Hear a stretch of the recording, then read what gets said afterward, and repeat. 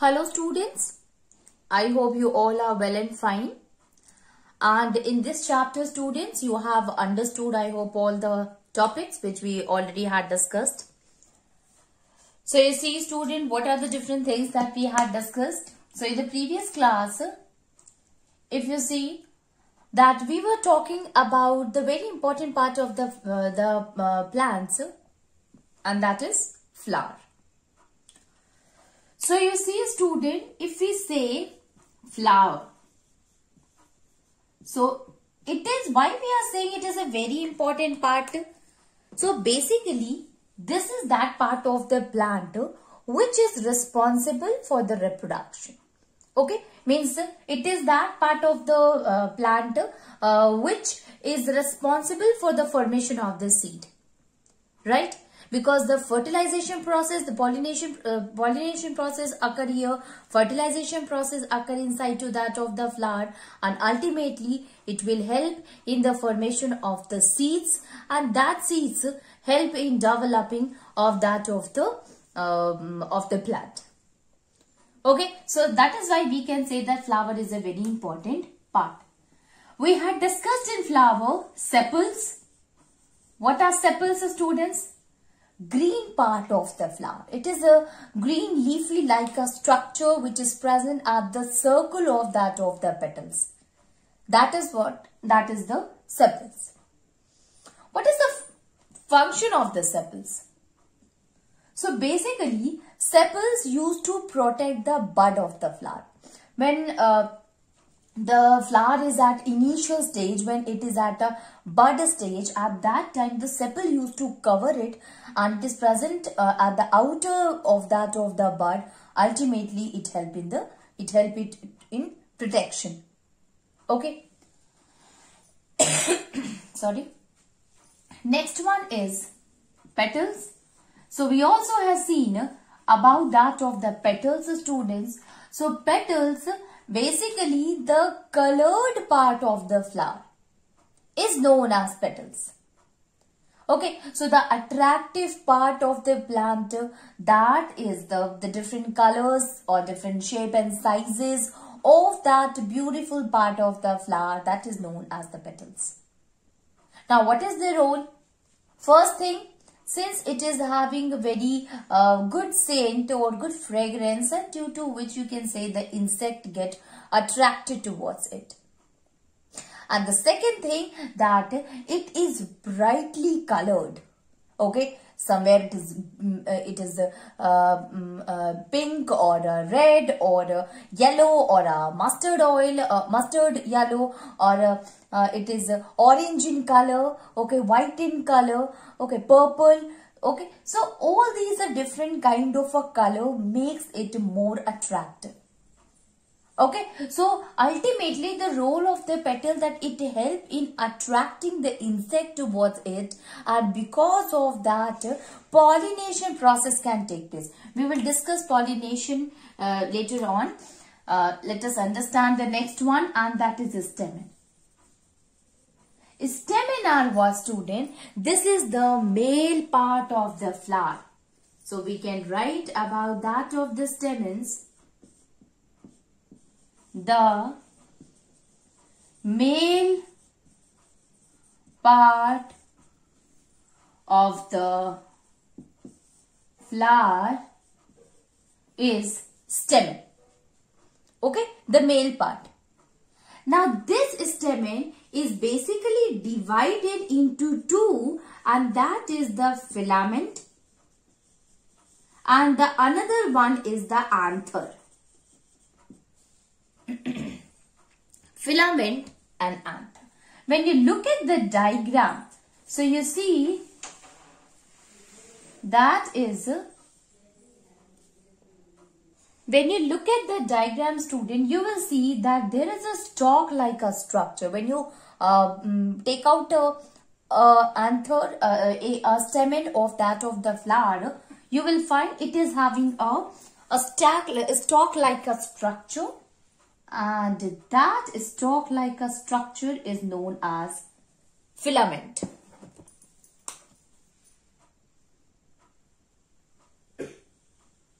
that is known as a filament.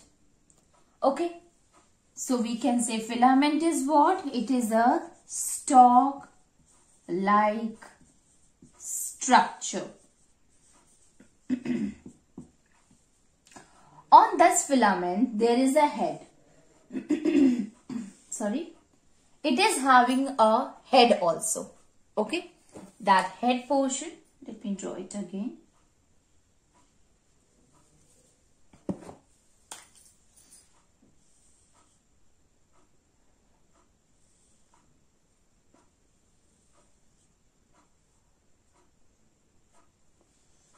it is having a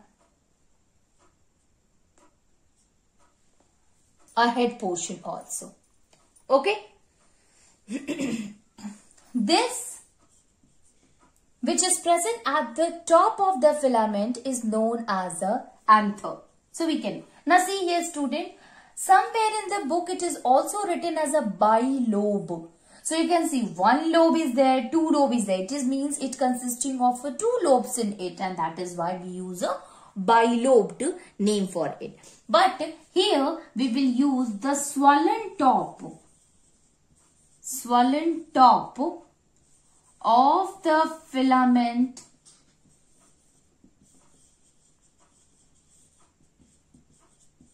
is called the anther. So the diagram is anther is here and this stalk like a structure is the filament. So filament, what is the role of the filament here? There is no uh, such a specific role of the filament is there. Filaments simply help in holding the, the swollen part that is the anther which is present at its top. Okay, so its role is to hold the anther on its top.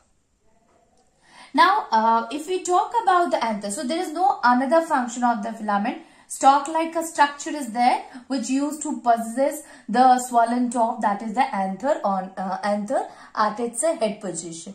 Okay, so this is the only the role of the filament. That's it. If we talk about the anther, so anther is the head of the uh, this whole uh, male reproductive uh, part of the flower or the swollen uh, part of the uh, flower that is known as the anther. Now you see, if we talk anther, so basically when you uh, cut the anther students, you will see that inside the anther there is a yellow powder like a substance is present there.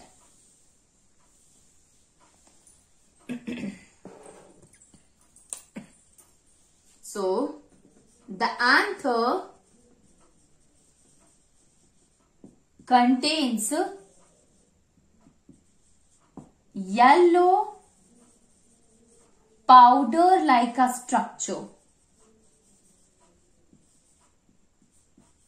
Powder like a structure, powder like a substance in it. Substance. Now this substance which is yellow in color, yellow powder like a substance is there is called pollen. Okay. So that yellow powder is the uh, the pollen. Now when you uh, take a horizontal section, you will find a grain like a substance, a yellow grain like a substance is there and there we will call it as a pollen grain. Okay, so we can write it. If we cut the anther horizontally, the anther horizontally then so if we cut the anther horizontally then we will see pollen grains are present in it.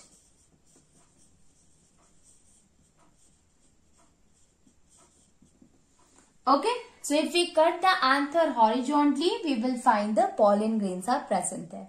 When you see the anther, you will find the yellow powder like a substance. That is anther is present there. Now what is the pollen grain student? Basically why we are talking about the pollen grains. So these pollen grains consisting of the male sex cells. Male sex cells are what? Male gamete cells are what? Which is present inside the pollen and it is the male gamete, it is the male sex cells of the flower which fuses in the ovule to form the zygote and zygote developed into a seed. Now see the process of the formation of the seed we are talking about. We are knowing that the seed is a very important for the growth of a new plant. So how the formation of the seed occur? It occurs due to this process students. A male part is there, a female part is there. When they fuses together, then there is a formation of a new single cell that is zygote. Now basically which part of the male it fuses? So the male reproductive part consisting of a two. It is divided into two. That is filament and anther. Filament is having no role. It is simply there to hold the anther on it. But when you look at the anther, anther is having yellow powder substance in it that is known as a pollen. And when you cut it horizontally, you will see a grain like a substance is present there that is known as a pollen grains. Okay, now these pollen grains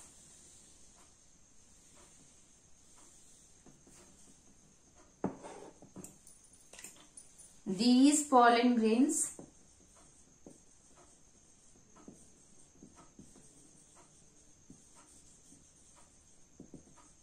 contains male sex cells it contains the male sex cells. Okay. So we have to understand up to here and you see student there are lot of uh, and a lot of uh, stamen is present in the in a flower if you look after that of the in the hibiscus you have seen in the hibiscus a long tube like a structure it comes out and from here a lot of uh, pollen grains are attached with that of the flower that is of a yellow in color. You have seen here. This is what? This is the female part. But if you look at the, the hibiscus, you have seen a lot of a stalk like a structure. Lot, lot of a yellow colored part of a flower. It a yellow color of a uh, part is uh, present there and this portion this 1 this 2 this 3 4 5 6 this is what it is actually the stamen that is the male part so every stamen consisting of anther and filament every anther consisting of the uh, of the pollen grains and the pollen grain consisting of the male sex cell okay so this was about the male reproductive part of the flower which is known as a stem. Okay, divided into two anther and filament.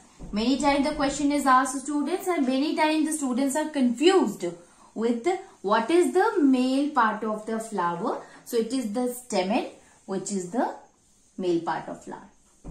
Now moving on and try to understand the female part. So we have understood the male part. Now female. Female part of the flower is known as pistil or carpel. Pistil or carpel. Okay. So, when we talk about the pistil or the carpel, so in the center of the flower student, there is a swollen base is there. Okay or at the center there is a flask shape organ is present and that is known as the pistil of the flower. Okay, so we can write it in the center of the flower.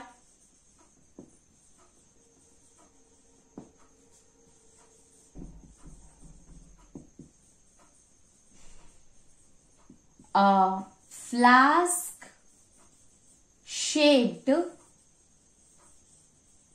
structure. Shaped. Structure of flask shape organ is present which is known as a pistil or carpel. Pistil or carpel. Okay, so it is known as a pistil or carpel. What is a pistil student? It is actually the female reproductive part of the flower. Female reproductive part of the flower is known as pistil or carpel. Now when you look at the diagram of the pistil and the carpel student, let me draw it and after that I'll tell you that in how many part this pistil is divided. So we had discussed that the male reproductive part of the flower is divided into two and that is anther and filament. When we talk about in case of a female, so you see student,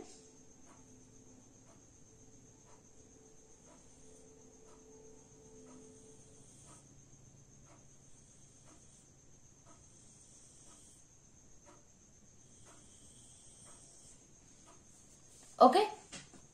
It is a flask shape structure. And from here, the base is attached. Okay. So, we can draw it and after that,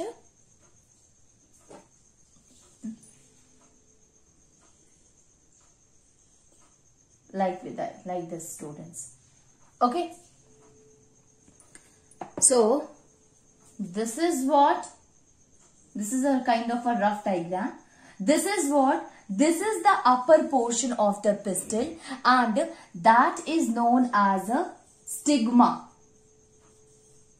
Stigma is what? It is the first portion. First part of the female reproductive uh, part that is known as the stigma. Now you see a tube like a structure is there. This tube like a structure is known as a style.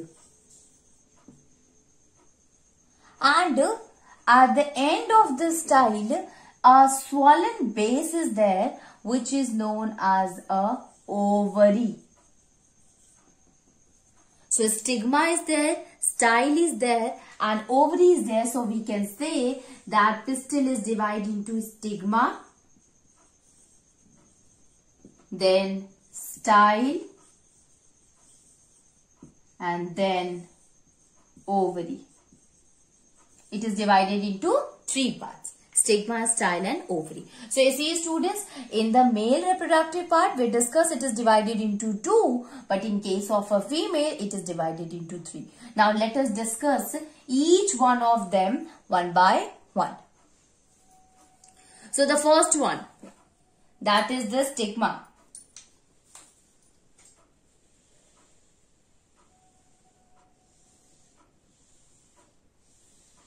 Stigma. You can see here stigma. You can see here student it is present at the top. So the first point that we can write for stigma that it is the topmost part of the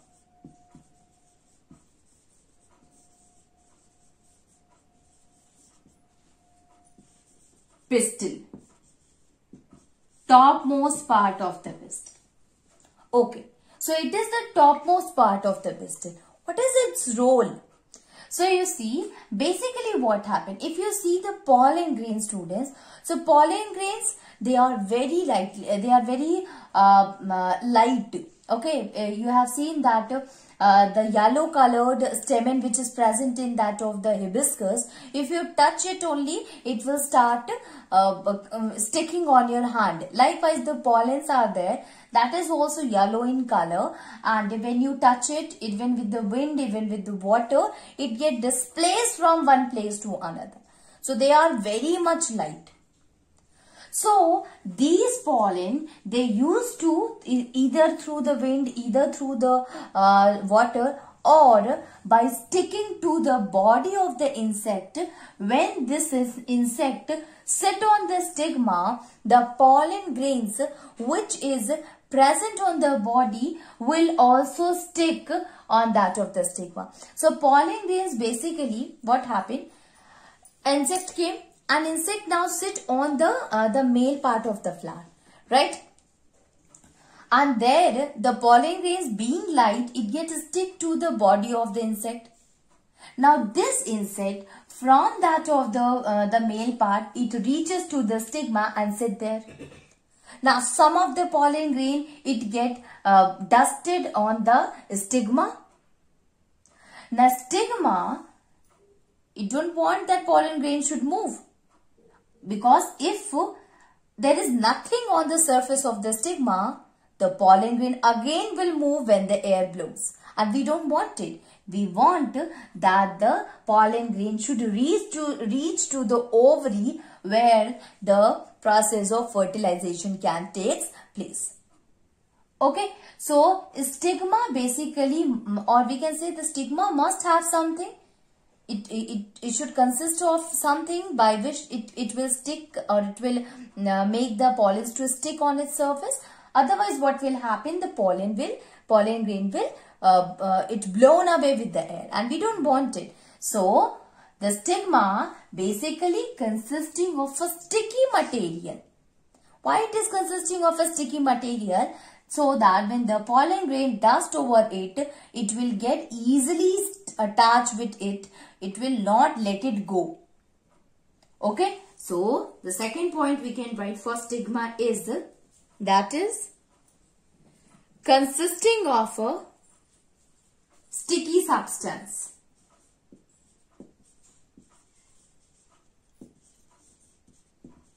consisting of the sticky substance on it.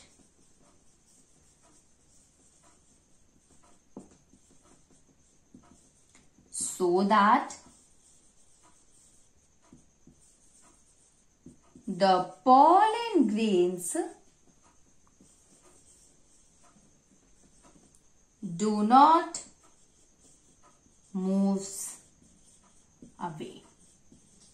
Because if the pollen grain is capable of to flow or to blow with the wind or to move along with the water, to move along with the insect. So if there will be nothing on the stigma, it will again move.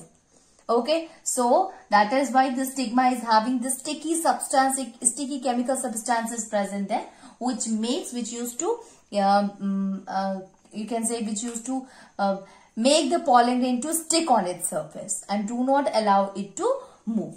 Okay, so this is the first part student and that is the stigma. The stigma is the first part, topmost part of the female reproductive part and it consisting of a sticky, sticky substance. Next one is style.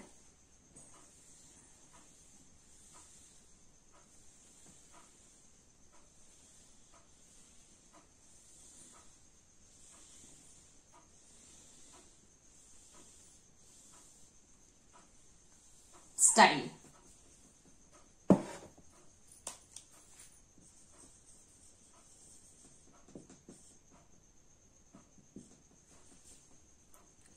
Style is what student? You see here it is this is the this is the style. This is the stigma which was the topmost part and this is the style. So what is the first thing that you are seeing in the diagram in case of a style?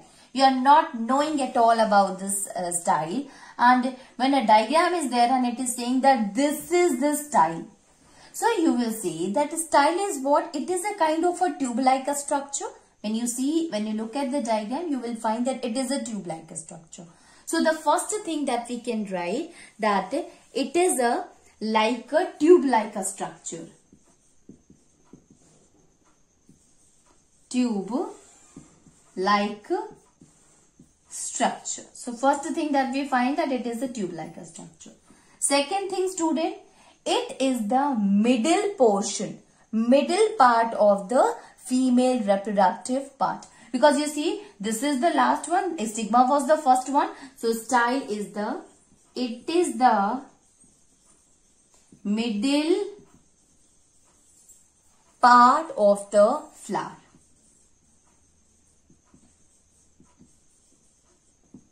Female reproductive flower.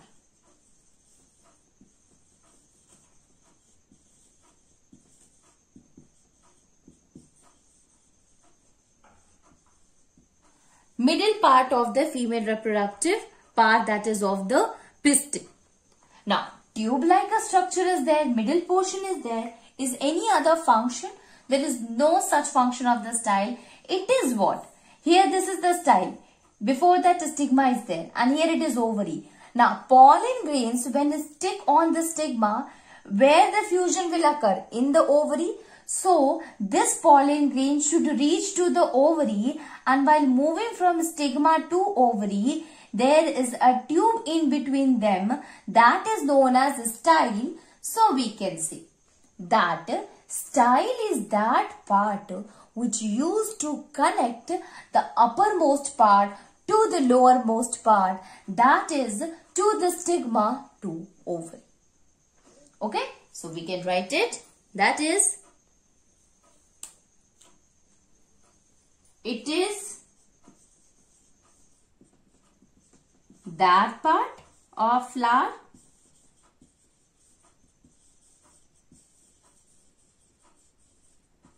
consisting of or it is that part of the flower. Connects.